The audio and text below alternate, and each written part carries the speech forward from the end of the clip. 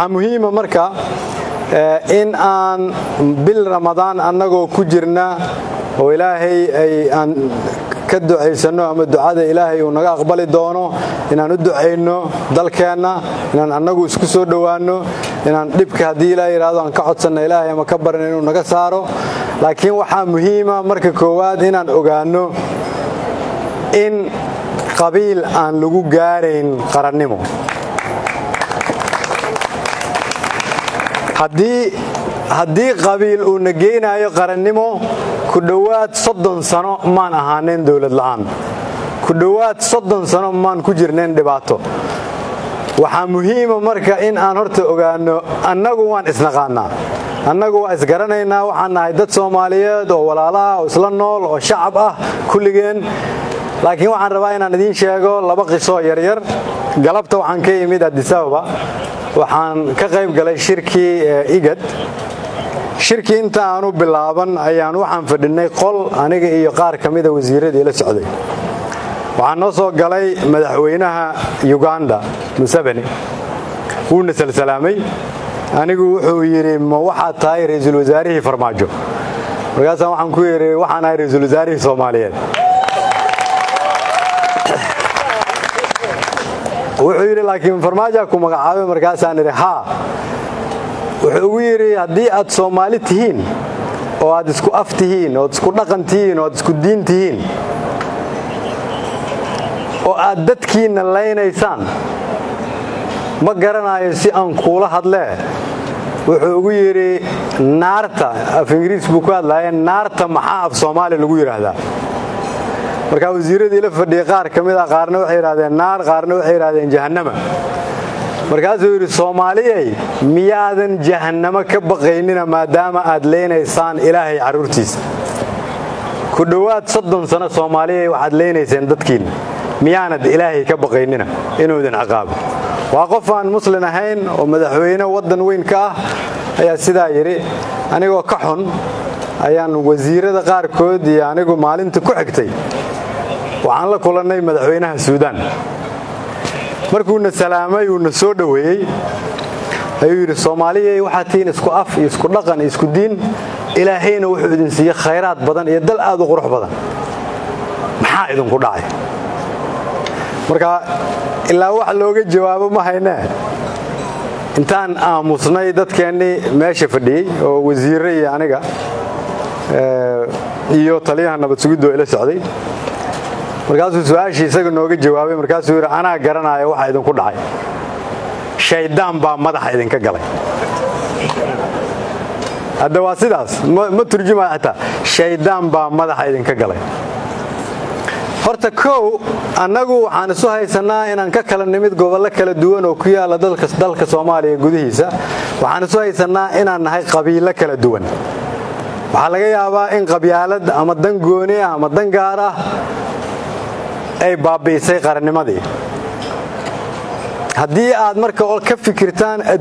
waxa ay naga aaminsan tahay waxaa tusaale idiin ah safarkii yaraayoon hadda ka imid waxa laygu soo yidhi waxaa laygu soo yidhi wax walba waad haysataane maxaa idinka maqan dhul baad haysataan idinku filan dad yar baad tihiin khayraad baad leedihiin isku af baad tihiin isku dhaqan baad tihiin isku diin baad tihiin wax idinku filan waa haysataane maxaa idinka maqan? Waxaa naga maqan waa inaan ilaahay u noqonnaa. Waa inaan ilaahay barinaa oon ugu shukrinaa nimcaduu ilaahayna siiyey. Laakiin waa inaan aqbalnaa inay adduunyaduna nala yaaban tahay annaguna aan isdhibaataynayno waxaan idinka codsanayaa in iyadoo bil ramadaan ah aan ku ballanno inaan dowladnimada ka wada shaqayno inaan aqbalno inaan isla xisaabtanno. Inaan aqbalno in dadka soomaaliyeed oo dalkan ku nool inaan dalkan wada leennahay inaan aqbalno inaanay cidi ka lahayn cid kale dalkan. Inaan aqbalno sida keliya oon horumar ku gaari karno inay tahay inaan qabyaaladda ka baxno. Aeroboorka adisababa markaan ka soo baxayna ayuu nagu yidhi wasiiradiina soo dhoweeyey mid ka mida aeroboorkan wuu nagu yaraaday mid kalean dhisanaynaa oon ku dhisanaynaa afar bilyan oo dollar. Waxay qaadanaysaa inuu dhammaado shan ilaa toban sannadood adduunyadu waxay ka fikiraysaa tobanka iyo boqolka sanoo soo socda. Annaga waxaan ka fikiraynaa nusi saaca soo socda qarax miyaa dhici doona? Xabad miyaa kugu dhici doonta? Xoolahaada miyaa la dhici doonaa? Waa inaan wakhtigii isaga ahaa inaan ku bedelnaa wakhti qarannimo. Waa inaan isu dulqaadanaa sanadkan iyo sanadka soo socda iyo kan ku xiga iyo kan ku sii xiga kan ku sii xiga. Waa inaan dulqaad yeelannaa. Dowladnimadu ma ahan bil iyo labo iyo sanad iyo labo iyo saddex. Dadkeennan waaweyn oo halkan isugu yimid. Dhallinyarada yaryar oo halkan joogta oo jaamacadaha ka soo baxda. Oo shaqala'aanta ah iyagoo shaqala'aana ayaanan haddana u hayn dalka ay xaqa noogu lahaayeen. Dib waa inaan u fikirnaa marka. Waa inaan dib u fikirnaa oon ka fikirnaa sidii aan dhallinyaradan yaryar oo boqolkiiba toddobaatan iyo shan ah. Bulshada ka ah waa inaan shaqo u abuurnaa. Haddii aan shaqo u abuuri weyno iyagaa dab ku noqonaya bulshada. Marka fursadda ugu weyn oo aan leenahay dalkan haddii aan nahay soomaali waa dhallinyaradaas khatarta ugu weyn oo na hor taaganna waa iyaga haddii aan shaqo u abuuri weyno haddii aanay dareemin inay dalka wax ku leeyihiin haddii aanay dareemin inay fursad leeyihiin waa inaan ka wada shaqaynaa sidii dhaqaalaha waddankan loo kobcin lahaa si loo kobciyo waa inaanay qaar yaroo annaga naga mida haysan dhaqaalaha waddanka waa in dadka dhamm ay u saman yihiin waa in qofkii raba inuu ganacsi abuurto uu leeyahay fursad uu ganacsi ku abuurto waa inaanu dowladda ka baqin waa inaanu ka baqin in annagu haddii aan xukuumadnahay aan laaluush ka qaadayn waa in innagoo isla wada jirna aan musuq maasuqa meel uga soo wada jeesannaa waa inaan nabadgelyada wax ka qabannaa. Waa inaan nabadgelyada wax ka qabannaa halkan annagoo fadhinna ayaad maqlayseen inuu qarax dhacay hadda. Qof walboo idinka idinka mida telefoonkiisu ku booday kulligeen waan damqannay ilaahay ha badbaadiye waxaa laga yaabaa inay dad soomaaliyeed oo walaalaheena ku dhaawacmaan. Laakiin waxaan noqonnay inaan aqbalno inuu qarax meel ka dhaco aan ka wada cararno. In qof meel lagu dilo oon ka wada orodno in dadka dhulkooda la qaato annagoo u jeedna aan iska aamusno. In cadaalad darre ay jirto oo aan aqbalno inay cadaalad darre jirto. Haddii qof idinka idinka mida ay ka fikirayso dowladnimada waxaa lagu keeni karaa madaxweyne iyo ra'iisul wasaare waad khaldantihin madaxweynaha iyo ra-iisul wasaaraha iyo xukuumaddu iyo baarlamaanka labadiisa aqal haddii la isku daro boqolkiiba hal ma dhammo bulshada soomaaliyeed sideebaad marka afar boqol ama shan boqoloo qofoo soomaaliyeed uga sugtaan iyaga keligood inay ka shaqeeyaan danaha bulshada dowladnimadu waxay tahay in laysla xisaabtamo waxay tahay in qof walba uu u istaago dowladnimada qof waliba meel inuu ka qabto waa inaan annagoo wada jirna la dagaalanaa shabaabka. Haddii kale habeen walboon isu nimaadno halkan ama meel isugu nimaadno qarax baa dhacaya. Xukuumadda iyo dowladdu waxay ku bixisay wakhti iyo juhdi badan. Bishan ramadaan inaan wax ka qabanno amniga. Waxaan uga qabannay xoog xoolo iyo maskax soomaaliyeed keliya. Waa bilow inta aan ka qabannay hadda waxaan rabnaa inaan boqol jibaarno laakiin ma yeeli karna haddaadan idinku gacanna siinina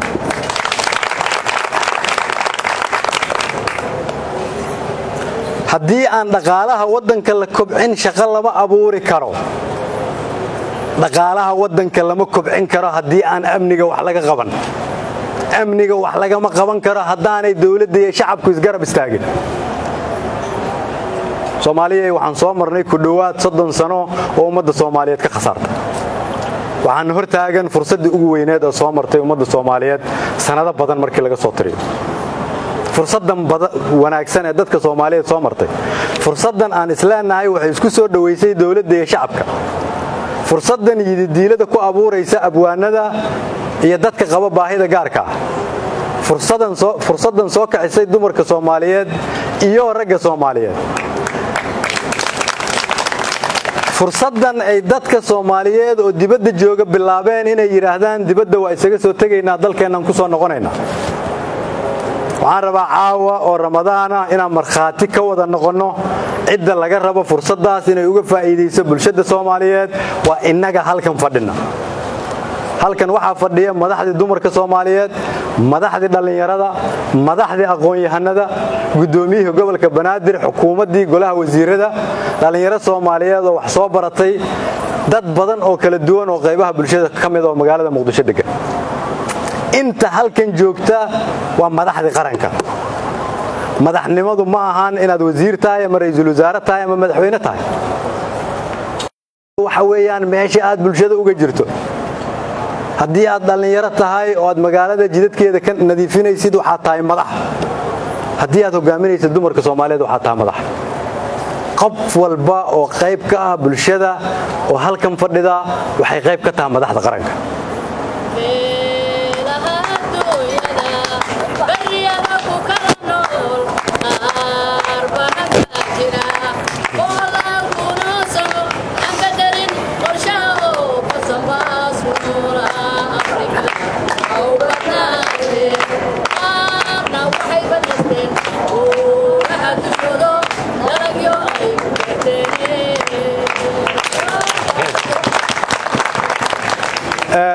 maadaama marka idinku aad tihiin hogaamiyayaashii bulshada maadaama idinku aad tihiin ciddii la xisaabtami lahayd madaxweynaha ra'iisul wasaaraha iyo baarlamaanka. Waxaan rabaa inaad qayb libaax ka qaadatiin waajibka idin saara. Haddaadan idinku u soo istaagina shacabkiinna cid u soo istaagaysa ma laha. Haddii aan aqbalno inuu qarax dhaco oo qof la dilo oo jid ku xihan yahay inay baagamuudda jirto oo aanay shaqa jirin oo dhaqaaluhu uu eber yahay oo musuq maasuq uu jiro. Sidaanan ku sii jiraynaa konton sanoo soo socota. Ma sidaasaan rabnaa soomaaliya inaan ahaano? Sidaan haddaanan rabin inaan ahaano waa inaan bilownaa sidan si ka duwan. Aniga iyo xukuumadda iyo madaxweynaha waxaan diyaar u nahay inaad nala xisaabtantaan. Laakiin ma shaqayn karno haddii aadan idinku gacanna siinina haddii aad brofesor jaamacad dhiga tahay waxaa lagaa rabaa inaad qaybtaada qaadatid markii aad shaqada ka soo baxdid. Inta aad shaqada joogtid ood carruurta iyo dhallinyarada waxbaraysidna inaad ku hogaamiso dalkan siduu nabad ku noqon lahaa. Haddii aad miidiyada ka tirsan tahay waxaa lagaa rabaa inaad ilaahay ka boqdo oo aad dadka soomaaliyeed u sheegtid waxa xaqda ah keliya. Waxa dhabtaa oo aan beenta ahayn haddaad tahay qayb kale oo bulshada ka mida culummo tahay waana ummadda soomaaliyeed u sheegtaa sida ay shabaabku xaqdarro ugu shaqaysanayaan. Haddaad tihiin haweenka soomaaliyeed haddaad tihiin haweenka soomaaliyeed oo ahaa hormuudka bulshada soomaaliyeed waa inaad mar labaad u soo istaagtaan qarannimada soomaaliyeed. Sidaas daraaddeed waxaan idinka codsanaynaa annagoo diyaar u ah inaad nala xisaabtantaan. Inaan wax isu oggolaanno marka hore inaan isu dulqaadanno in haddii aan hore dembi u kala galnay aan iscafinno inaan aqbalno dowladnimadu inaanay bil iyo labo iyo sanad iyo laba ahayn. Inaan ogaanno in jiilka naga dambeeya ay xaq nagu leeyihiin. Oo haddii aan xaqaas ka soo bixi weyna aad ogaatiin ilmaha aad awowaha iyo ayayada u tihiin inaanay haysan la heli doonin waddan ay ku noolaadaan inaan ka wada shaqayno qarannimada iyo midnimada ummadda soomaaliyeed. Inaan dhammaystirno sharciyada noo dhiman si dadka kala duwan ee bulshada gaar ahaan kuwa qaba baahida khaaska ah ay xuquuqdooda u helaan.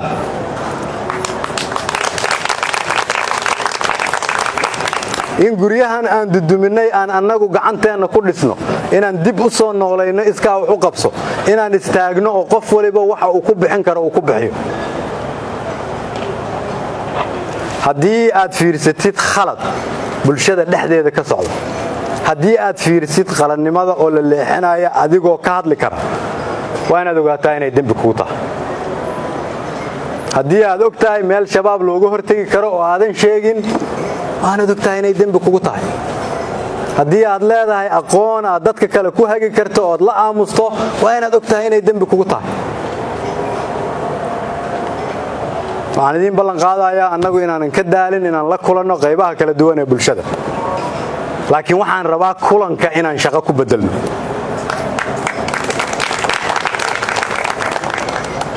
Waxaan caawa oo bil ramadaan ah ilaahay ka baryayaa inuu ilaahay qalbigeenna isku soo dhoweeyo inaan noqonno kuwii qarannimada ka hormariya qabyaaladda iyo qabiilka.